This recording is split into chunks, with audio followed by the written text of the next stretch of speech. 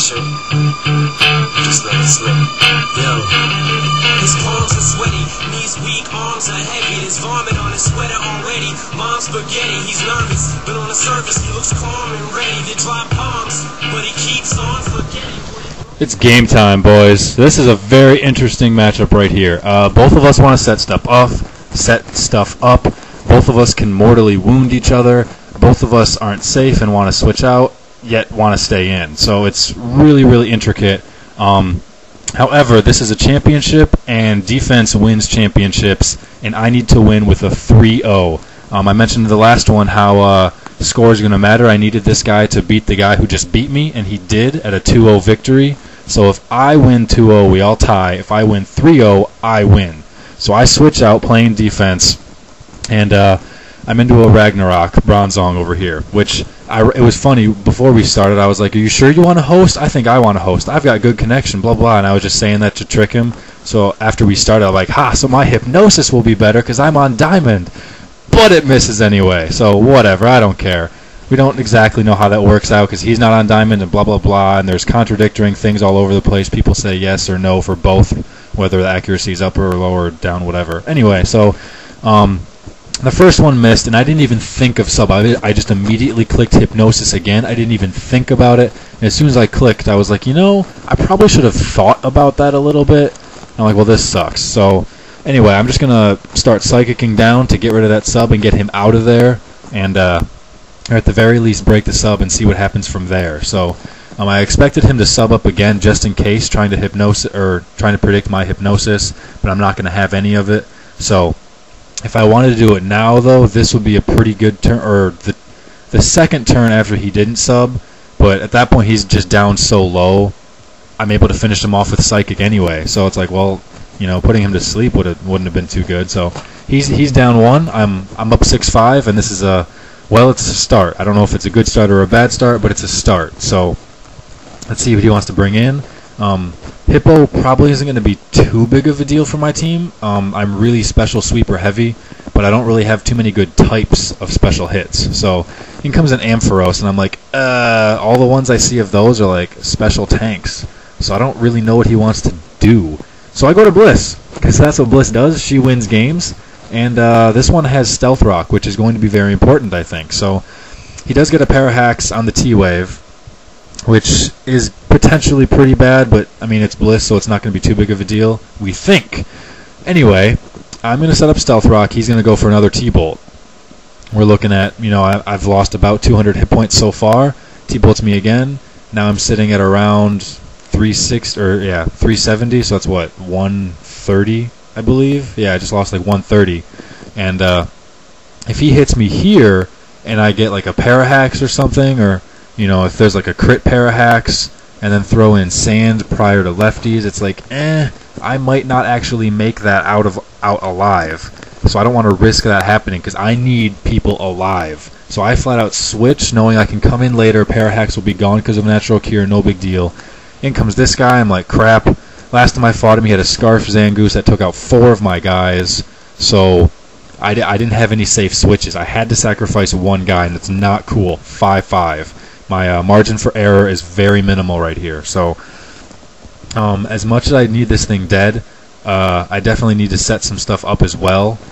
And I'm hoping it's the same Scarf one, which close combat isn't going to hurt too badly, but I honestly don't know. Um, I don't think his last one was shiny and named Revenge. I thought it was something else. I can't remember for the life of me what, and I'm not about to look up on my videos what it is. Um, but you know, I, I thought about it. Don't don't cross my mind or don't write it off as me not thinking about it. So I definitely thought about for a long time. It's like, do I want to surf, finish this thing off? I don't know what he's going to bring in. Um, and that's like the main deciding factor in a lot of these early moves. I don't know what he's going to bring in and I need to win this marathon without losing as many guys as I can. So, um, because of that, I go up for a toxic spikes, um, and unfortunately comes a forretress. I'm like, no, toxic spikes against a forretress is not going to help. I don't know how I'm going to kill this thing. Um, sure, I've got special attackers, but it's Yanmega and Espeon, so they can hit with Psychic and Bug and Grass and that's not going to kill Forretress. Um, despite its crappy special defense, it can still take two or three of the hits. So, and again, if it if it wants to explode, I'm going to lose something there as well. I'm sitting at five guys right now. I can't afford to lose two more. So I figured he would rapid spin first, and thus I needed a rapid spin as well. And he just threw up an earthquake in my face. I'm like, no, things are not going well at all for me right now. Um, if I do, sure, I suppose I could still 2-0 get a tie, and then we all have to do some sort of tiebreaker rules. But I'm not looking forward to that. And uh, having having to keep three guys alive is playing into my move prediction so much, and I don't know if it's a factor in his because he's just playing for the win. If he wins or even loses 1-0, then he flat out wins the whole thing anyway. So it's like he's just trying to beat me. I don't know if he's realizing how much I'm going to have to switch around extra when I normally might not. So I bring in Locust. Hopefully I can scare him away with HP Fire as a bluff. I don't have it. This is my sub reversal with Liechi Berry, Yanmega. So I don't have it. Um, I don't know if I want to, if he just wants to explode right here, perhaps, maybe kill Yanmega if it's that threatening to him. Because um, I know Yanmega is super threatening in roulettes.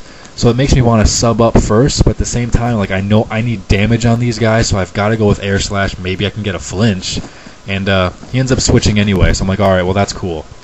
And uh, I'm thinking, if he brings it in now, usually those things are special tanks. So maybe he wants to T-wave me or threaten to do so. Perhaps just Thunderbolt. You know, I don't know. So I'm going to set up a sub here just in case he tries to T-wave, because a T-wave on Yanmega makes him really, really, really, really, really crippled. So as it'll take him like five turns of speed boost to get back up there where he can outspeed Forretress again. Well, maybe four. Four for, for Forretress. Anyway, um, a lot is the point of that. So I'm going to put up a sub, see what he wants to do.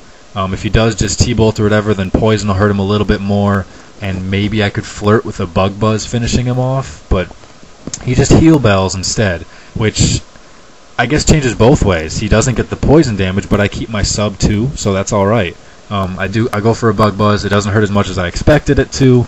I'm definitely gonna be able to finish it off from here though, and uh, I lose my sub. No big deal. It did its job more than adequately, and uh, I can definitely kill it from here. And in fact, I know I can kill it from here with an air slash because of how much I saw the air slash do the first time. So just in case he wanted to switch, I'm gonna go for that. And uh, it doesn't switch. Still finishes him off. All right. That makes it 5-4. Me, I believe. Normally, I have such a hard time remembering the score and who's left alive. I'm going to try and keep track of that in battle for you guys this time.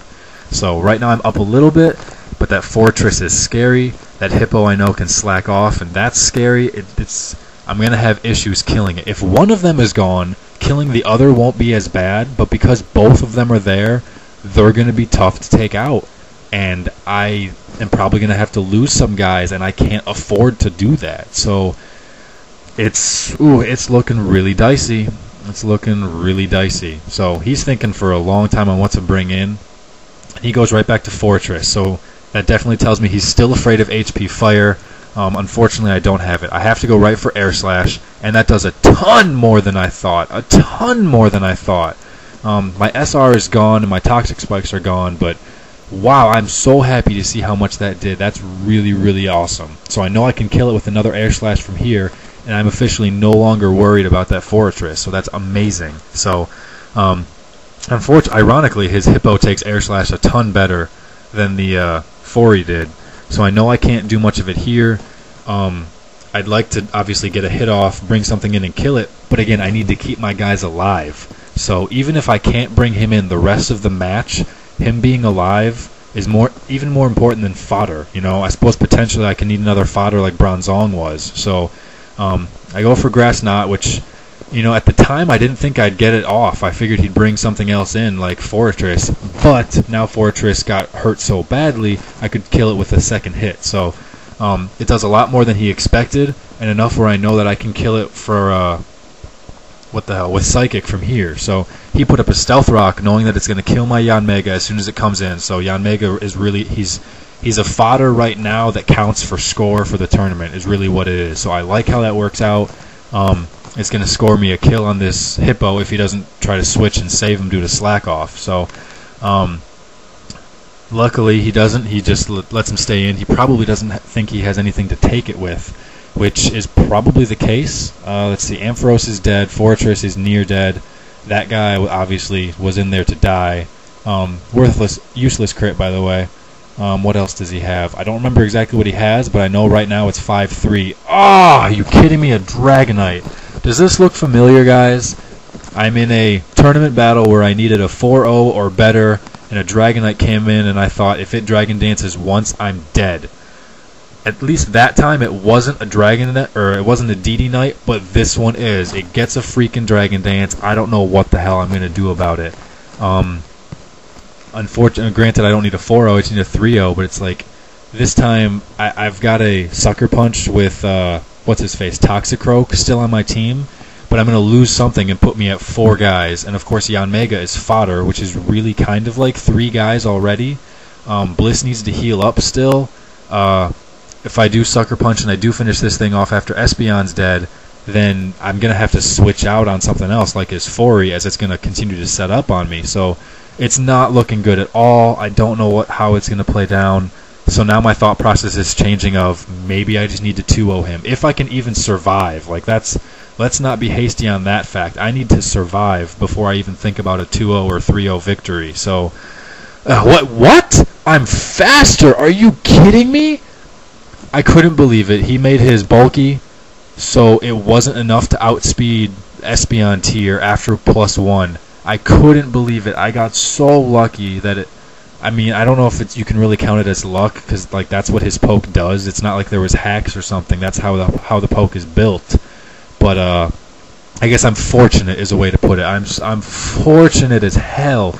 It was not faster. I couldn't believe it. Sand is able to finish it off. He hasn't seen this guy yet. I know he's got a Zangoose and a Forretress, so I bring it in here for a sucker punch on Zangoose. Zangoose, as I know it's going to work and kill it. So from here I'm able to switch. He can't explode if he has it. I'm up five, I believe. Four or five, I don't remember. I think it's up four at this point. I don't remember. Four or five, whatever. And uh, I'm able to survive Earthquake. I'm going to be faster. I can get off a soft boiled. And from here, I'm just going to take my sweet old time finishing this thing off. It's his last guy, and he can't explode. Um, if I was at three right now, he could explode, but I'm not. So he needs to finish me off the real way, and that's going to be really tough for him to do. So I'm just going to S toss down.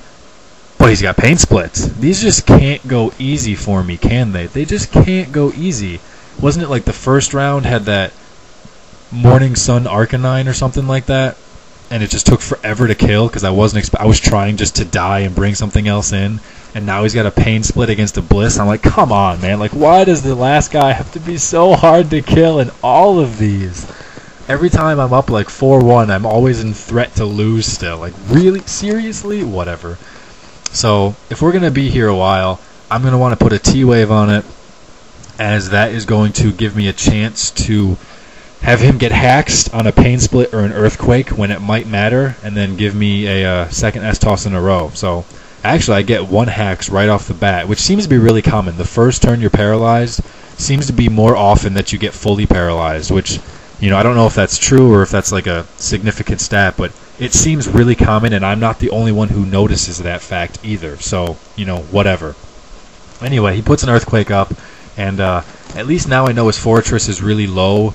That if it does have to, or if it does finish off my bliss, I might be able to bring in like a Toxicroak and finish it off. Um, I don't know how Espeon's going to do against it, but um, that turn was critical right there. If that was a pain split, then you know we just rinse and repeat. I get another S toss off, and and I have to soft boil, or you know if he got a crit earthquake, it would finish me off there, something like that. But that turn or that one hacks was critical right there. It totally changed the tide and the initiative in my favor. And uh, with that, he pretty much just admitted defeat. Um, he didn't want to stall it out for forever. He was like, "Bah, I can't do this." He's still got more other guys, so he's gonna just commit to EQs, let it f- get finished off, and I'm going to pull it out 4-0, and I needed a 3. That was awesome. Another victory in the belt. Thanks for watching, guys. Hell of a match. Peace.